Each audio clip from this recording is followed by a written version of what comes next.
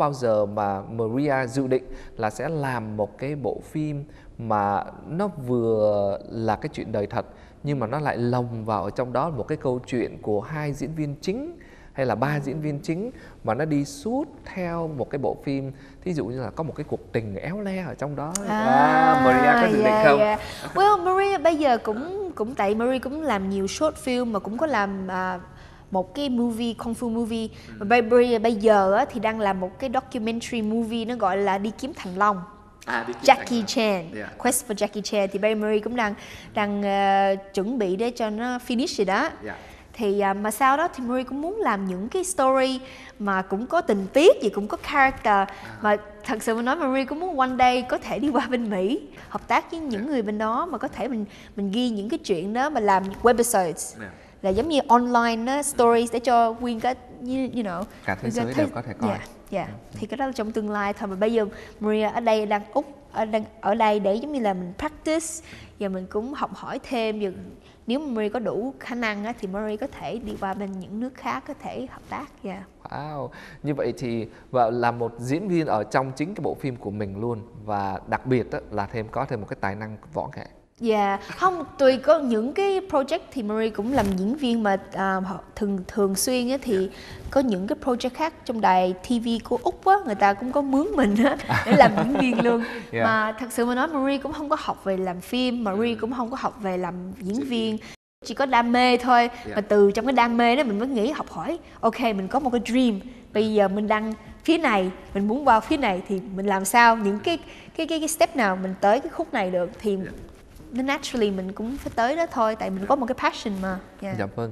Ờ, uh, trở lại một chút xíu về cái vấn đề mà võ nghệ của của Maria thì uh, hiện nay đó là Maria có một cái lò võ riêng của mình hay là có một cái lớp dạy võ riêng cho riêng mình không? À, thì trong cái vùng uh, Fairfield với Cabramatta này á, thì Marie cũng thường xuyên cũng có học với những cái lò võ vòng vòng đây. Thì trong cộng đồng mình á Marie biết là có một cái lò võ đồng tâm gì đó là lớn nhất của Yeah, trong uh, Vietnamese community. Mà trong cái vùng này thì cũng có nhiều lò võ Marie cũng muốn là thành một cái người mà đi giống như nối cái lò võ với nhau. Chỉ là có thể là thường thường mình học với họ đó mình có thể biết ờ người này biết cái skill này người này có biết cái skill này. Mình có thể dùng họ trong cái project của mình.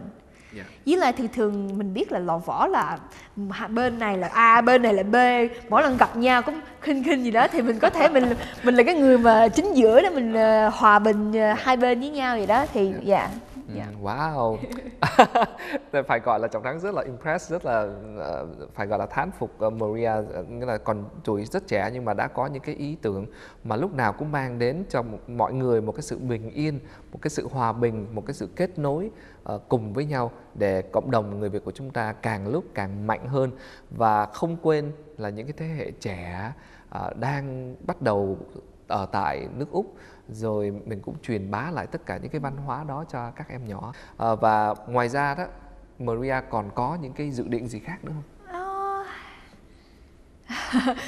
theo Marie nghĩ nếu Marie có thêm thì giờ để ngủ sleeping á là very good tại vì mình làm rất là nhiều mình cái gì mình cũng muốn là involve mình cái gì mình cũng mình thấy một cái idea thì mình cứ bài cũng nhảy vô mình mình làm cho nó better mà thật sự mà nói Maria trong tương lai các chị muốn là là làm producer director với lại làm diễn viên những cái cái project Maria đã đam mê và và thích và Wow, có bao giờ nghĩ rằng là mình cần phải có một cái người bạn trai để đi cùng với mình? Thế thì Maria nghĩ gì về ờ, cái cái cái cái người bạn trai trong tương lai của mình hay là bây giờ đang có rồi? thì bây giờ hiện tại là cũng có một người bạn trai mà mà trước khi đó thì Marie cũng nghĩ no, no, không cần không cần mình là một người yeah, independent woman ok À. cái gì mình cũng làm là Tự tự lập mình á. làm mà có cái là mình cũng một thời gian sau mình cũng nghĩ cái này cũng hơi à, hơi cô đơn tí thì mình gặp người nào mà có thể mà mà help mình đi theo cái ngành mà mình đam mê á thì rất là tốt thì Marie cũng đã kiếm một người như vậy rồi À, như vậy là xin chúc mừng cùng với lại Maria. Nghĩa là bây giờ bạn trai có rồi. Nhưng mà tối ngày cứ đi làm phim thì làm sao mà có cái gì để bỏ bụng. Như vậy thì Maria làm sao để mà mình có thể tự mình mình sống được? Tại vì cái đó là một cái điều rất là quan trọng. thì Maria trong một uh, nguyên một cái một trong tuần gì đó ha thì Maria thường thường phải làm ba công việc lận.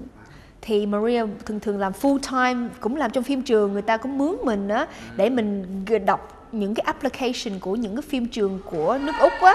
Rồi trong part time á thì Marie cũng dạy học thì dạy học những trẻ em trong cái vùng này á những có đủ sắc tộc hết trơn học về acting và filmmaking.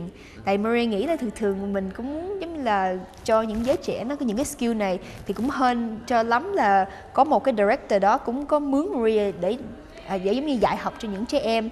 Rồi cuối tuần á, thì Marie cũng phải phim quay phim hay là có thể làm những cái project gì nào đó thì cũng kiếm được chút đỉnh để để qua ngày. Nếu mà người ta để qua ngày. Maria ơi người ta chỉ làm có một công việc thôi là người ta đủ sống. Đằng này là ba công việc thì chắc chắn Maria nhiều tiền lắm. Oh. Maria hầu như người ta nói là nếu mà mình muốn làm tiền mình phải vô những cái ngành giống như là kỹ sư cái đó thì mình mới easy. Không Maria làm những cái về art thì vay cũng là khó khăn lắm. Mà mình tay cái gì là mình ước mơ với là đi theo cái ngành đó thì có thể là mình thay đổi. Um, làm những cái thay đổi trong cộng đồng mình rất là hay hơn là nếu mình làm một cái job thì thôi. Yeah. Right, wow. Và hy vọng rằng là Maria chỉ cho các dạy các em bé là phải nhớ lấy tiền chứ đừng có đừng có rộng lượng quá rồi quên cái vụ lấy tiền lại không có đồ để mà. Vâng. wow, so, uh, thưa quý khán giả là chương trình của chúng tôi thời lượng không cho phép để gửi đến cho quý vị uh, những cái câu chuyện rất là thú vị, rất là lý thú và độc đáo trong ngày hôm nay. Uh, Trọng Thắng xin uh, cảm ơn uh, Maria đã có những cái ý tưởng và làm phải gọi là một cái niềm tự hào cho người Việt của chúng ta ở trên thế giới. Uh, keep it up. Cứ tiếp tục theo cái con đường đó. Uh, xin chúc cho Maria sẽ thành công, thành công và thành công. Maria cũng muốn cảm ơn Vietface uh, TV cho Maria cơ hội để có thể chia sẻ những cái gì Maria làm ở Úc.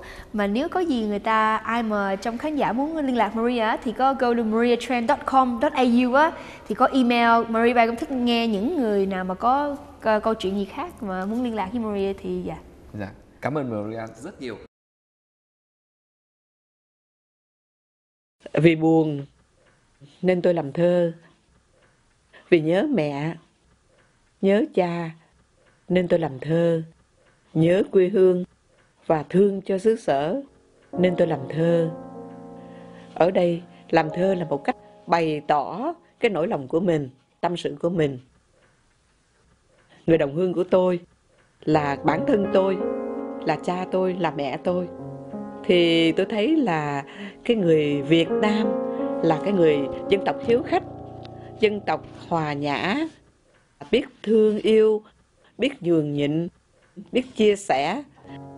Thơ là một cách biểu tỏ trang trải cái nỗi lòng của mình trên giấy.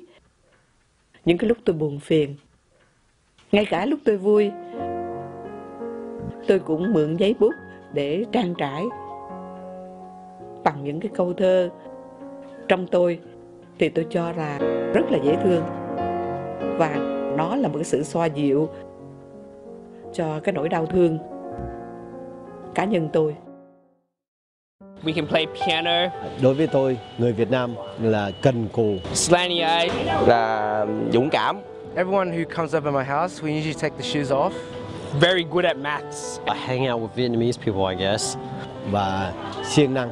Um, uh, gangs, gangster looks, uh, I don't know, it's very, very uh, typical images of, of Vietnamese. À. À, chịu nói chịu làm. Người Việt Nam luôn luôn muốn nước mình được tự do bình đẳng. The fact that we're all related. Being a Nguyen